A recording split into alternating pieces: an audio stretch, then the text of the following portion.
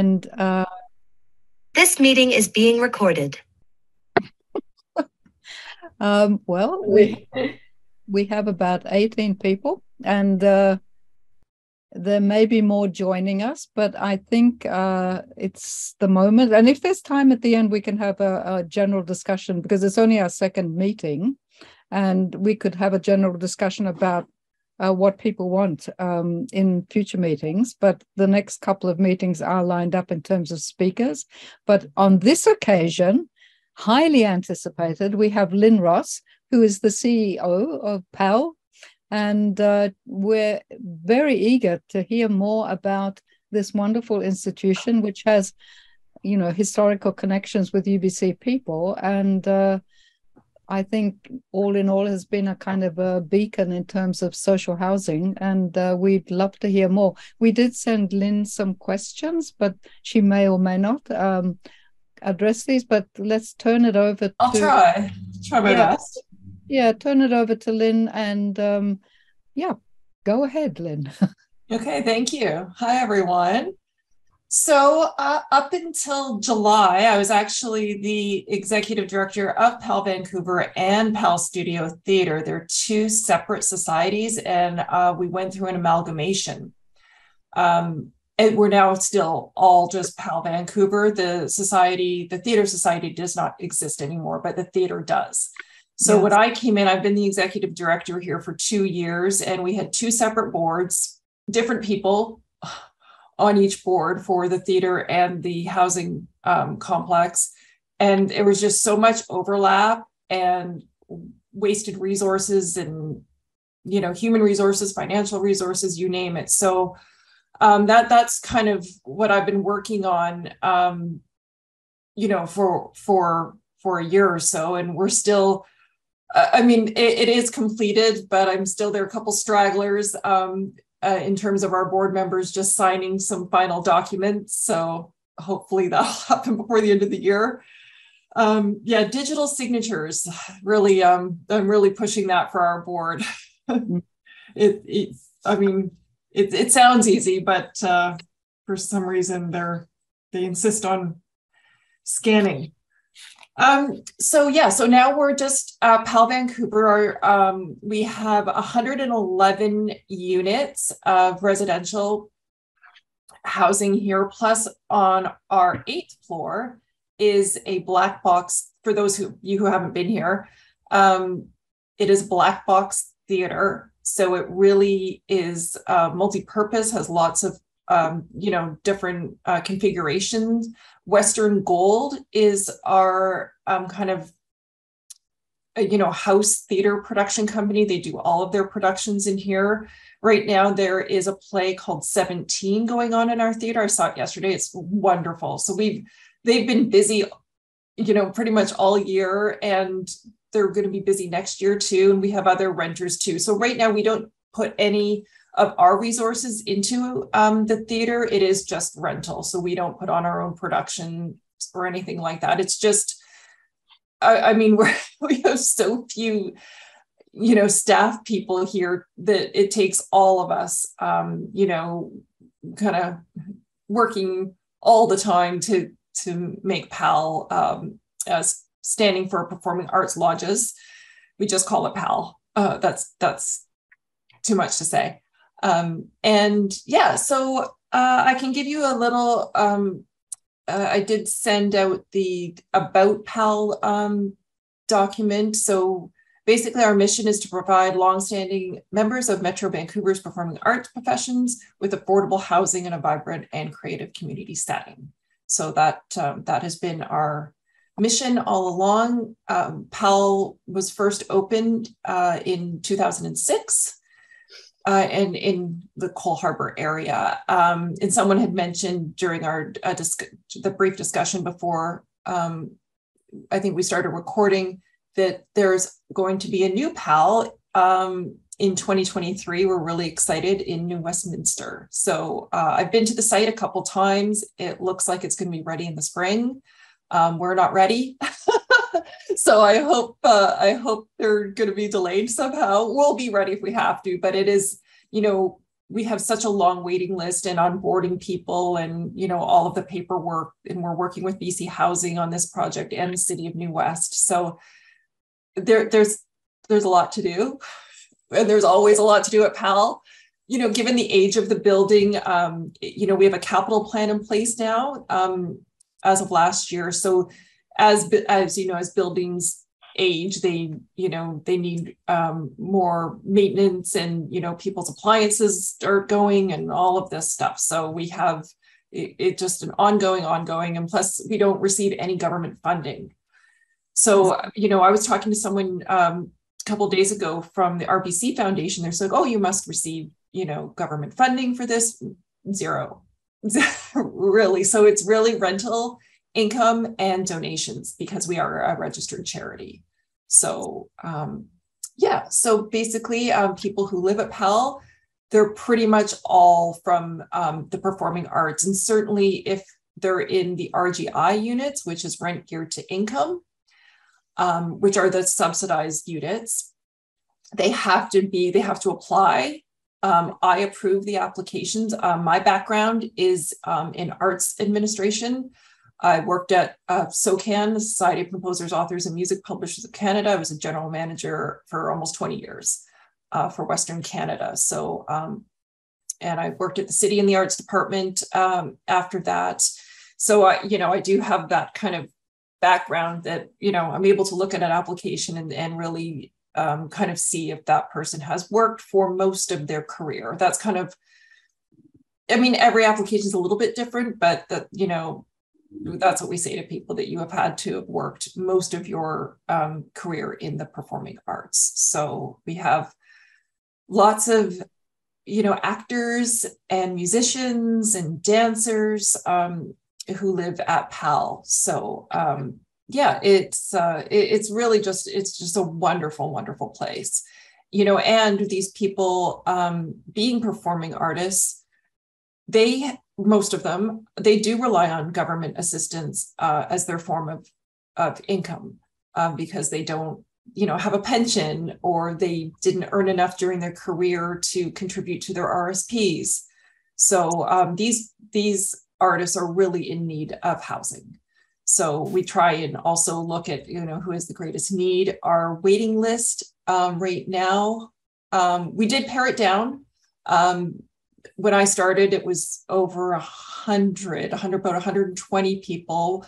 Um, but then I had my team go back and revisit everybody on that list to make sure they were honestly still alive or still interested. Um, so we have about 80 people right now on our waiting list. And um, the rent gear to income units, um, quite honestly, they just don't come up unless someone passes away, which is quite sad, but it's the truth. So um, a, another reason why an RGI unit may come up is that someone um, this is this is not assisted living here. You have to um, have uh, your doctor sign off on a, um, a, form saying that you're capable of independent living because we don't have resources here at all um, to to support people. So we have had a, in the couple years that I've been here, we have had uh, I, I, would say two or three people um, leave our um, leave our building to go into uh, assisted living. So that's a, another um, reason why someone why one of these units would come up. So in all of um, this year, we've had one unit come up, and that was the case that um, this this person was no longer capable of uh, taking care of himself. Um, so this is how the split goes. When PAL first opened in 2006, the split between the rent gear to income, which is the subsidized, and what we call the near market units, which are about about 10% below market value for this area. Right now, those near market um, units are going at um, 1690 is the rent there, which is, I mean, it's Vancouver, right? So um, that that's what we call our near market. And when PAL first opened in 2006, it was an 80 20 split. So 80% of our units were rent geared to income and 20% um, were near market. Now, about five or six years ago, um, I wasn't here, but you know, so I've gone through all of the documents. Um, they couldn't really afford to maintain the building and have that split. They they just couldn't make it work financially. Um, then again, I wasn't here, so um, they went back to BC Housing because we have an operating agreement with BC Housing because they put up startup money into this. Now we have a 60 40 split. So 60% of our units are rent geared to income and 40% are near market. Um, I, I, would love to bring it back to 80 20. Um, we'll see, you know, how the next, you know, couple, well, maybe even the next year goes because we're, I mean, we, we really streamlined a lot of things and applied for every grant um, and, and received really um, good support from a lot of BC Housing's programs, replacing our boilers and things like that. It costs like 50, 60, $70,000. So replaced our, all of our lighting to LED lighting. Um, we received a grant from that, BC Hydro. So there are a lot of things out there. You just really have to know how to find them and have someone uh, quite honestly apply for it. So we've, we've done a lot of that in the, the last um, two years. Uh, uh our third um, uh, I guess, yeah, a residency type here in your question is life lease. Uh, we have 12 units that are life leases. Um, and they're the only two bedroom. Every all the other um, 99 units are one bedrooms. And most people here, we have, a, have about 135 residents. So most people do live alone here. So the life leases, um, let me just pull up a document that he did not send. Um, the life leases were necessary in the beginning um, to fund this building. So the life leases in 2006 raised $3.14 million. Um, so they needed that, that money to, to make this place happen. And what happens is that, um, you know, back in 2006, all 12 units, um, people leased them. Um, that you have to have the cash up front. You can't have a mortgage on these life leases. And they were around $250,000 at the time.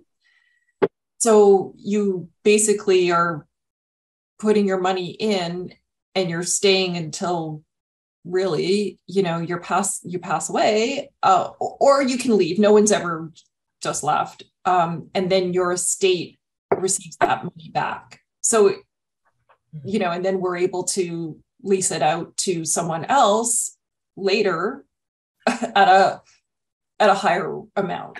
So I think the life the last life lease was before my was about three years ago. So it was before I started, and that went for about four hundred and I think twenty five thousand dollars. Now, it, it's just tricky with the life leases. We have a long waiting list for them as well. Um, they don't come up very often and they aren't part of the Residential Tenancy Act. So there are a lot of weird things going on with the life leases and insurance and who is responsible for insurance, if it's PAL or if it's the life lease holder. Anyway, I'm not going to go down that road. Um, I don't want to pull my hair out. But um, the, I was going to answer the third question: What would you not repeat if I? And I'm not doing life leases in New West at all. It is just I understand why they had to do it to raise the money, but it's just, in my opinion, it's just a horrible model. And um, I'm pretty sure our insurance broker wants to kill me. So I won't do that to him. So we're not doing any more life leases. Um, ideally, I would like BC Housing to come in. I don't think it'll happen, but I would like BC Housing to come in and purchase our life leases as they come up. And so we could have them as rental units. But anyway, that's just the wish list item. Um, so New West um, have the same options. So no, it will just be um, 50, 50 split. There are 66 units. So 50, 50 split um, RGI, rent geared to income, which is subsidized, and your market. So we're still have we're still waiting for our operating agreement from BC Housing, but we know that that will be the case. We just don't know what the rents will be yet. So BC Housing will set that for us. Um, your next question, uh, what was determined by stakeholders, financiers, or governments? Um, Mm, not really sure. Uh, Could someone expand upon that question? I'm not really sure what you're asking here. I think it's about decision making, you know, where, where, and consultation. Um, to what extent uh, there's a network of uh, consultation, decision making, who's included in that, um, are the residents included in that? I think that was no. Oh, okay. Um, yeah, we, I mean, once the building's up and running, um, like it is at Cardero, I mean, there are some things that we may go to the residents with, but generally no. Um, there, as you can imagine, there are a lot of opinions, Mm. and um, like if it's something that you know directly affects them, you know, we sent out surveys and things like that, um, which is helpful to you know kind of know what kind of things you know they would like to see in the building but as generally generally generally not um, we are uh, for new west um, s- similar stakeholders um, you know the province the city you know the developer type of thing. But um yeah for especially for, for new west we don't even know who's going to be living in the building yet. So you know we we can't really we we've we've done some consultation with um, the arts community in new west. And we have a pe- couple people on our new west committee um, who are from the performing arts committee community in new west. But yeah since we don't know who the residents are going to be it's it, you know it, it's really kind kind of impossible for for us to consult with them. But yeah here it's just really um on a case by case basis but it's it's just much easier um, we do have i think that's your your next question yeah how it's governance handled? We do have um, we used to have two boards now we just have one board which is great. And um, yeah our i report to the board. The board makes um, i present them with and i just finished it today that's why i was so busy this week um, our budget for 2023 so i will present that basically to our finance committee our my finance committee will either say yay or nay and then make a recommendation to the full board um, at our next meeting. And if that passes then we will that will be our operating budget for 2023 so um, yeah any kind of big decision making all comes from the board. Um, you know the decision to have another building in new west that was all decided by the board. So i yeah i'm i i'm here to serve them basically. So um yeah so we have a, a quite a diverse board.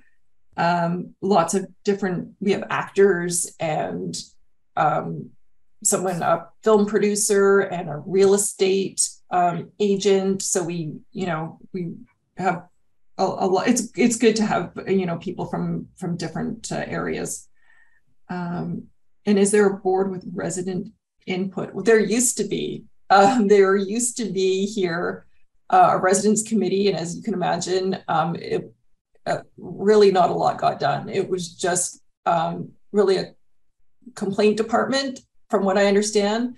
But right now on our board, our bylaws allow for three residents to be um, on our board, and right now we have two residents. So we do definitely hear from them uh, a lot at board meetings, um, and uh, yeah, they're they're very involved. Both of them are. So um, I feel like the residents are really well represented. Also in the office where I am, you can't really see a blurry background, but where I am in the office um, next door, the um, our housing manager um, like our door is open all day long. So people, you know, residents come and, you know, usually complain, but that's okay. That's why we're here. Um, yeah, we have residents coming and going out of this office all day long. So it's not like we don't know what the issues are. Um, you know, at, at board meetings, we already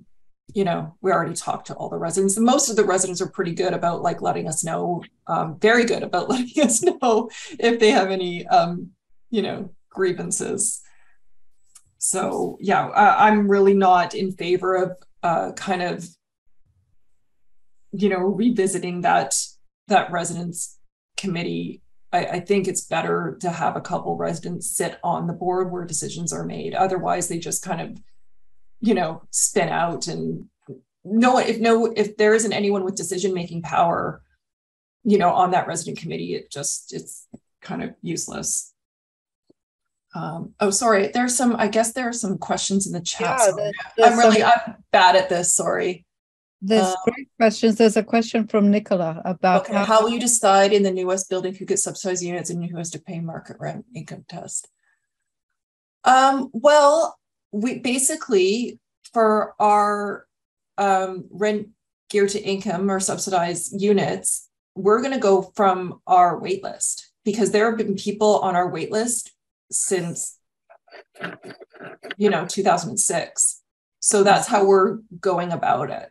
You know those people are already have already applied um, they've already been approved. So we'll start knocking those off. So that's how we'll do that. And it's not a matter of really who is getting subsidized and who's paying mar- market rent. The people who are on our subsidized list really probably can't afford market rent. So they're kind of two different groups, if that makes sense. Also, I should mention the subsidized units, you have to be 55 or older to um, apply to be on our subsidized, whereas our market rent or near market rent, you could be any age. So we do have a number of people, like a lot of people who are who are under the age of 55 in here, but they're all um, on the normal, um, near market side, if that makes sense. Mm-hmm. Mm-hmm. Uh, mm-hmm. Uh, uh, the next question about how you finance finance new west without capital from life leases. Oh, we we receive more money from BC Housing. So yeah, it was just yeah. that that and that's how like the, we received more money from BC Housing. We also had the developer um, because things have changed so much since 2006. So with the developer, um, we have our tower, our little tower of 66. It's not even a tower, but our little building, and then there are towers of residential. So um, really the developer in their bid for this included social housing and we were the recipients of this of this building. So that's uh, are there two bedrooms in us and what is square footage of the single bedroom we don't have that information yet. I believe there are I, I don't think that there are two bedrooms. I believe there are studios and one bedrooms um, but we don't have any of the because we don't have our operating agreement we don't have any of that information of the um, square footage but i i have been in one and i'll tell you it's really small. Um, the units here the one bedrooms here are much larger but that's just the way building construction has gone in the last you know 15 years or so that you know you don't get those big bedrooms or big closets anymore. It's just really, it's, I mean, they're nice, but they're small. Like you can't have stuff in there other than your your furniture. So, and it's really too bad because most of our artists, you know, performing artists are also fine artists. So we have a lobby um, on our first floor, and we have uh, wall space that our residents um, have art shows every month a different resident will put up um, their art. And it and usually for sale it's quite lovely. So and you know they need space in their units to you know paint or do their mosaics or whatever medium they you know they well that's a that's a question actually lynn. Um, are there common spaces such as um, an art space or anything? there in the basement, well, parking level one, there is a, a quite a big workshop where they they use the workshop to build the sets for the theater. So that's used quite a bit. Um, we don't have, um, you know, sh- I wish we did. We don't have a shared space for most people. Just, um, you know, stay in their units and, you know, create their art. We have our another amenity space on the floor that I'm on. The third floor is a library, which is really nice. It has um, also like a television because not everyone has TV here and two desks with computers um, that residents use because not everyone can afford internet or they, you know they don't want that uh, and there's a outside space as well here on the third floor and then of course the shared space upstairs which is the theater the lounge and our fabulous garden so okay. Mm-hmm. yeah it's used it's used quite a quite a lot in the you know in the summer so those are really, really nice spaces. And every Monday, the residents have soup social, and it's usually in the theater, or if it's nice outside, they do it outside and they just get together. And, and they've been doing this since the building opened. So, mm-hmm. Mm-hmm. yeah. And they do, uh,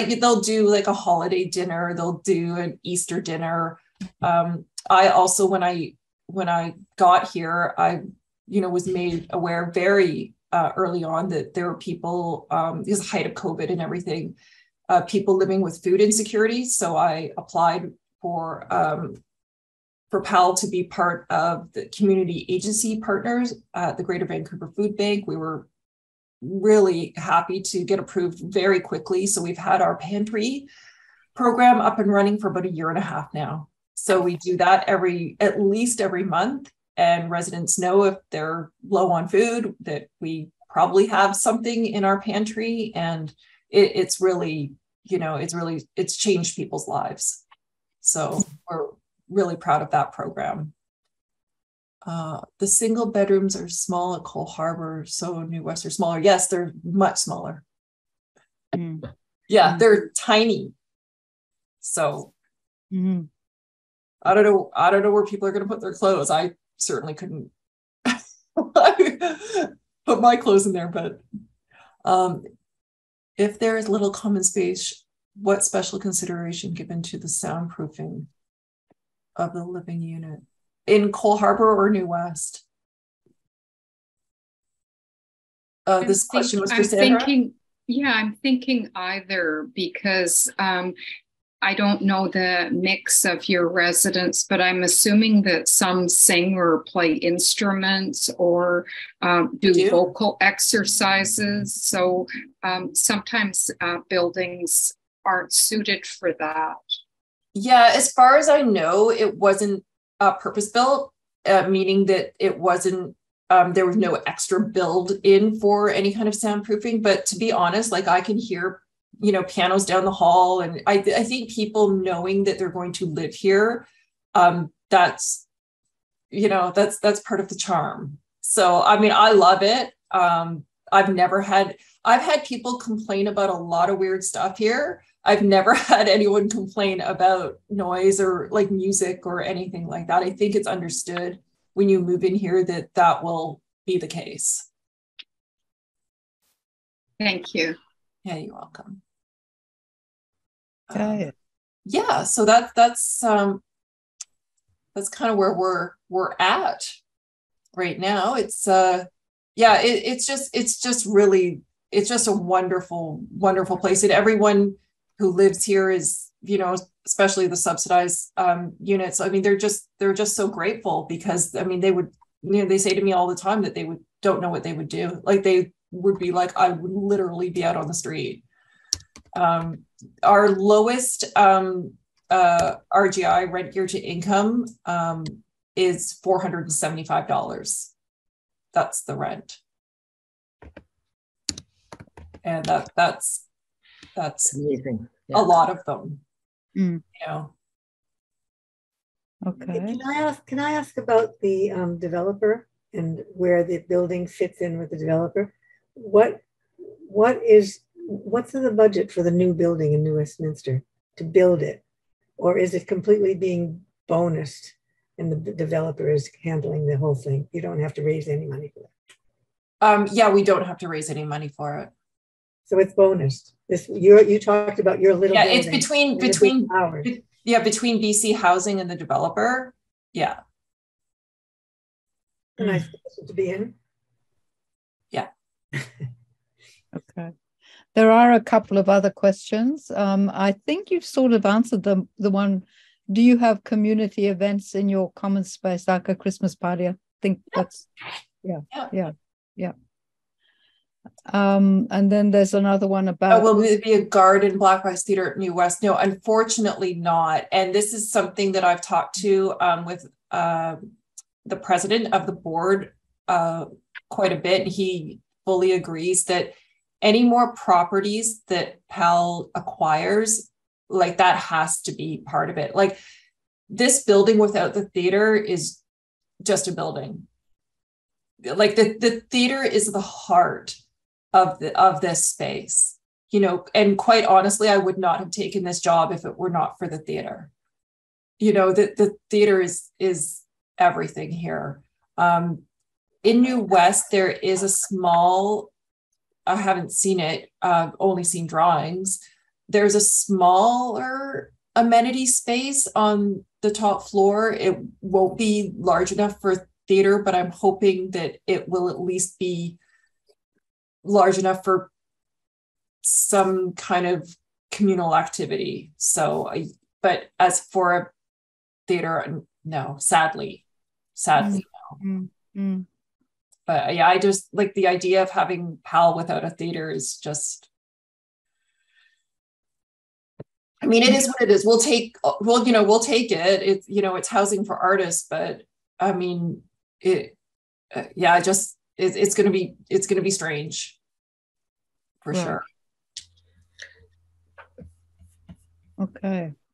I um, so I don't know if I'm still muted or if I. c- Uh, Yeah, no, yeah. we can hear you. Okay. Um, are you connected with uh, Toronto a- anymore? Well, I mean, connected in that we're all um, under the umbrella of PAL Canada. We have quarterly meetings, Okay, um, and all of the chapters across Canada meet and, you know, kind of share best practices and notes and Mhm. you know all kinds of things. I've actually been helping um, PAL Ottawa quite a bit because they're they're doing their build now. So yeah, I've been able to to share a lot of information with them, which is which is great because that's you know well, it's great that, that artists can stay in their communities. yeah Yeah. Mm. definitely. Any other questions for Lynn? Okay. That's been wonderful and incredibly informative. So, and uh, I, I think for me at least, I, I, I hear your pain in the sense that one of the things that has been so important and central to the lives of artists is the theatre. Yeah. Mhm. So, hmm, something. Well, they have a they have um, if I remember correctly, they do have a, a baby grand on that on the eighth floor as well, don't they? Yeah, we have yeah yeah we have a grand piano in the theater. We also have an upright piano in the uh, eighth floor lobby area. Okay, I thought it was the other way around, but okay. Okay. Maybe it used to be. Yeah. Well, and they also the the arts work exhib exhibitions are nice in the lobby and on the eighth floor too. So it's yeah. Yeah, the, the, there's a permanent kind of collection on the eighth floor, and then the lobby um, Right. switches out every month. So, yeah, it's great. And then the residents are also encouraged to put up their own art on their on the floors where they they you know each have wall Right. space um, out in the hall. So yeah, it's just really like every floor is so different Hmm. in terms of in terms of the art that's on the wall. It's uh it- it's quite lovely. Yeah. So I mean, it's just yeah, it, it's really just a really really special place, um, and yeah, it's it's a lot of work. Yeah. Yeah, that's that's very clear. yeah, yeah. But the the key is having um the key to to the, running this whole show is honestly is um, the housing manager. I mean, I can do all the admin in the world, um, but you know, knowing having a housing manager who, you know, that's her background, she knows everything about the Residential Tenancy Act, all of that is, you know, it's just so important. Um, you know, keep to keep, you know, the the building and the people housed and the moving in and the out and all of that. So, uh, you know, I certainly don't sit here and take all the credit. It's, uh, you know, it really is a team effort. Um, you know, we have a wonderful um, new development manager who's also our communi- communications manager. So we've redone our website, all of our social media, all of that stuff. And um, we're really um, have some wonderful um, you know new donors as well. So that's really important. It just it just takes so much. And um, we we've had a really we've been fortunate. We've been through covid and everything. We've we've we've been okay. And everyone's like healthy too. So we were really really fortunate during covid that we didn't have any cases. Wow. Mm. yeah.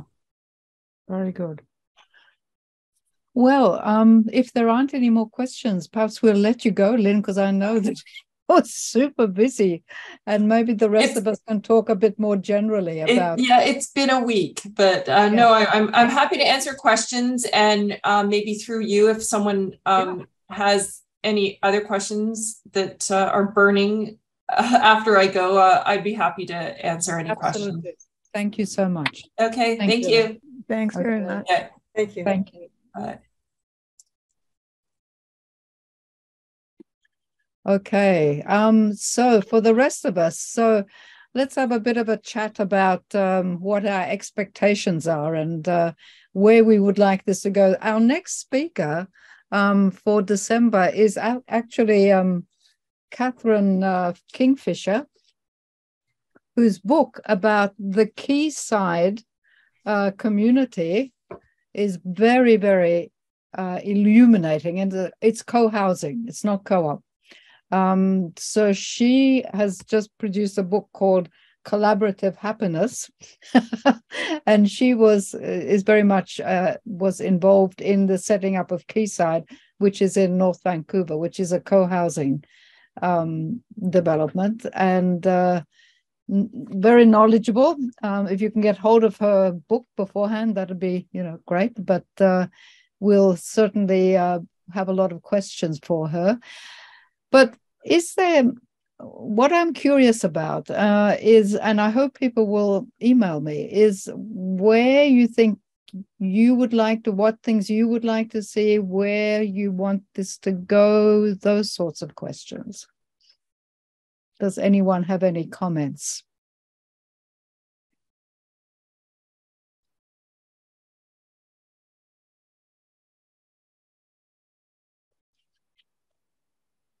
Oops.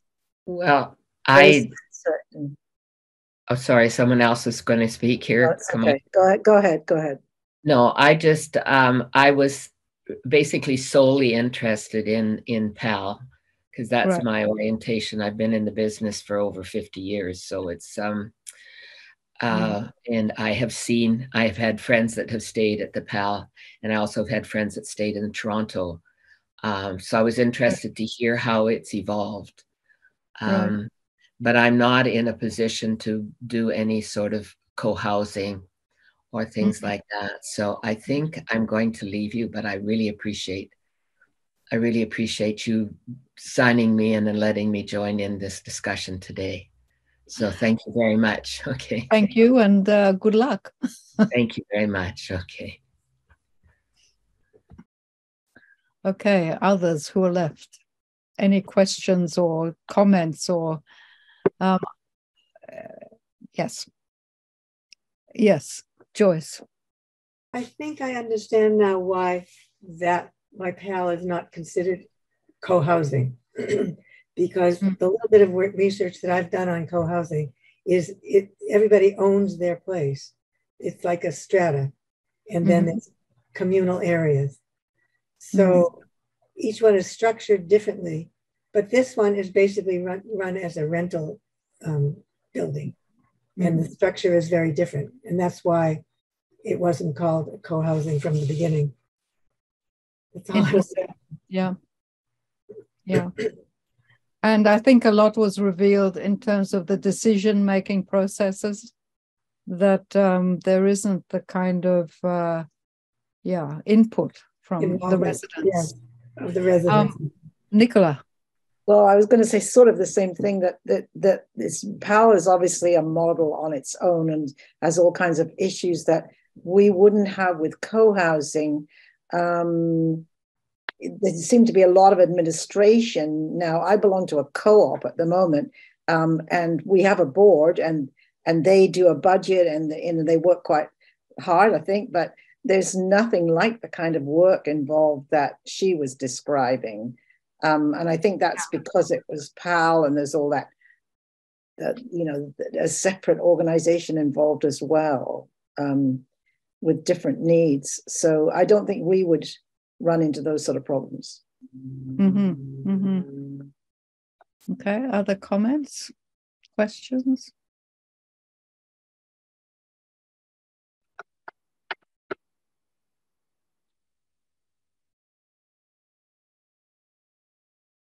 I'm interested to hear from from people where where they would like this group um, ideally, where they would like this to go.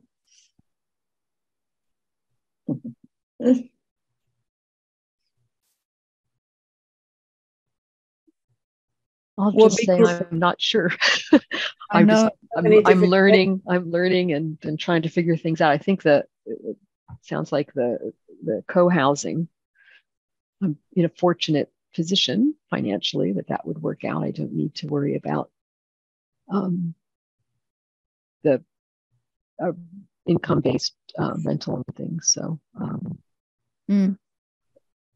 but I'm I'm just exploring. I think, and and many have uh, my friends and so on have talked about this that um, you know there are a lot of um, uh, impulses around at the moment that uh, things have to change, and the idea of community, building community, and building community is important at all stages of one's life, but building community in terms of uh, aging um, demographic, uh, I think, is very much in the air. And it's something that a lot of people are curious about, and also uh, what the possibilities are, even in a challenging, financially challenging context like uh, Vancouver. Um, some of us have actually been talking about the possibilities of uh, whether it's even feasible in any sh- shape or form of creating something at UBC. Um, that that is one possibility. That's one goal. But uh, I really would like to hear more about what people might be interested uh, in in doing further. Yes, I, I think I think part of it is you have to have some idea of the scale of the operation because are we talking about building a building like they were doing? That's a huge project. Yes. Or are we talking about taking over a building or three buildings or two houses or something like that and creating some sort of collective co-housing situation? Those are very different models. And that's basically what you're asking, what people would prefer. Mm-hmm. Right? Mm-hmm. Mm-hmm. But also what's possible at UBC. Alison, you had your you had your hand up. Right. Yes. Hi, Sneja. Um, so in, in terms of what do I see as uh, why am I interested? Which mm-hmm. is the mm-hmm. question that you're asking. Why, why are we even interested? Mm-hmm. Uh, I just like the idea of being part of a community eh, that pools resources so that not only do you have one's own uh, living space, but there's opportunities to gather um, with other people from the group, but also maybe perhaps like with an extended family or a book club, you know, shared space that is being used um, uh, for social purposes. And, um, you know, with possibilities of, uh, you know, when they mentioned the idea of a, so, a soup social, I think it was, you know, the the possibility of uh, some shared meal preparation on certain occasions or periodically or oh, mm. that kind of thing. Um, I'm a bit divided in my own head about whether I like the idea of it being, you know, say, for example, mostly retired people, older people, or a mixed generation. So uh, I really welcome some discussion about that. I do feel that we're, you know, kind of in silos uh, in terms of age. I live in a strata where, I mean, there are some younger people, but, you know, three quarters of the people are over 70. Yeah. So it can be a real struggle to so yeah. one of one of the ideas about you know having you know let's dream uh purpose built um yes building at UBC is that you are right next door cheek by jowl with um different generations of students and faculty so they're sort of right there and the other thing that's certainly um, of importance to me and others um, is that we don't stop being you know teachers and researchers and scholars just because we've reached a certain age. You know there are ways that we can continue the teaching certainly continue the research share the research with each other with others in that um, you know community that are juxtaposed with ours so there are ways that the college the emeritus college is already doing that um, and very successfully. And there could be more of that to build on that, sharing that knowledge, which we, you know, we've acquired with hard work, uh, and and it gives us continues to give us pleasure, and that we can actually share this with the other members of the very extended community. So that's that's built into it. It's uh, all kinds of uh, facets to it. Uh, it's it's not just one thing. It's not just about um, you know being together, living nearby, but, but that we are immersed in a very diverse community in all kinds of ways. Also well, interdisciplinary. But I was thinking more in terms of the the resident mix, like whether that would um, be, you know, geared towards emeritus folks or whether it would have a more well we we do have we do have um you know faculty housing right there. I mean there are intergenerational housing at ubc it just yeah. is. Um so that is surrounds us. So it wouldn't be it wouldn't be quite the same as as uh, perhaps a, a building or something that's outside that ubc kind of community um, which would be a different, and that would be very pertinent. But I think in, in the UBC, if we think of the UBC context, it is very much intergenerational and it has um, different cohorts of uh, people at various stages um, of living, including families, um, young families. So it's it's right there. That's partly what I'm saying. It's right there, and the degree to which, if there's um, common spaces that one can you know, um, have teaching opportunities, uh, learning from each other opportunities, whatever. I mean, that's that's all part of it. I think. Other comments? Or? Interacting with the surrounding community, people in other buildings takes really strong intention. Um, even with yeah. space, like I, if I think of interacting with children, they're either in the building and you see them running around, or you have intentional space, like like play space on the property mm. for interacting. It doesn't just it just doesn't doesn't happen without that kind of forethought.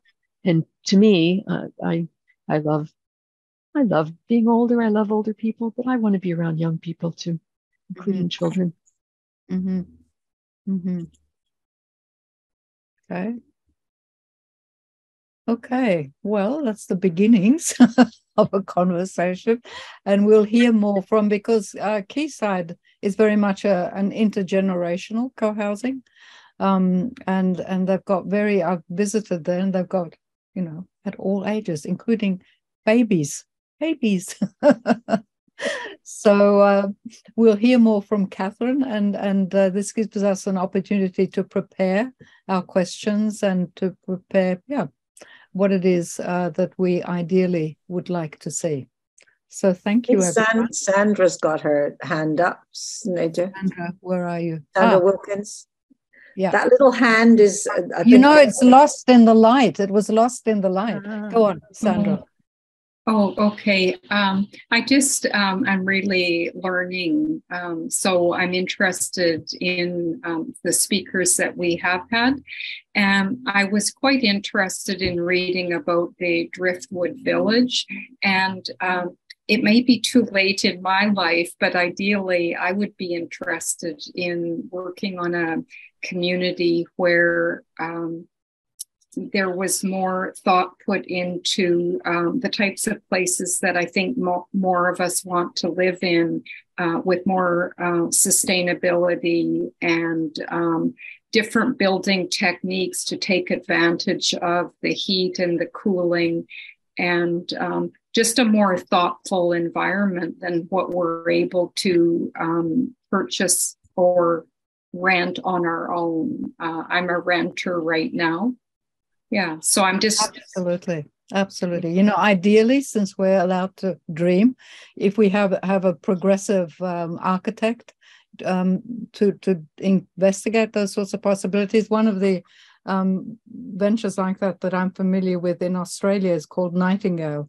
housing and they work with a at the core of it is a very progressive architectural complex, and they put up sustainable housing. Um, I'm familiar with Melbourne, in different parts of Melbourne, um, but that's the sort of ideally, that's exactly what one wants. Absolutely. Yes. So I think what I'd like to um, learn more about, explore is um, uh, how would, uh, if other people are interested, how do we uh, form a group such as uh, the one that started at Driftwood Village, whether it's at UBC or somewhere else, Mm. What what is actually involved? What are the timelines, and is it feasible for um, a group like ours to embark on something like that? So Good. that's just my initial thoughts. Thank you, thank you. We'll note that. thank you. Okay, so we've sort of come to the end, and uh, as I said, the next meeting will be Catherine um, and we'll hear more about a different model. But thank you for coming, and uh, yes, more soon. Thank Thanks you so very much, much for organizing it, Sneja. Thank you. Thank you. Okay. Thank you. See you next month. Bye bye.